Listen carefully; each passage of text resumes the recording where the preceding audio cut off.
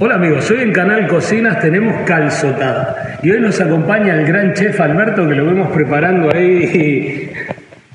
Alberto, saluda Con la manito, a, a tu público. siempre con las manos, vale, muy importante. las manos cómo le están quedando, va a quedar con un olor ahumado y a cebolleta que lo vamos a tener que bañar tres veces. Vale, y Luis, ¿algo que vez- decir?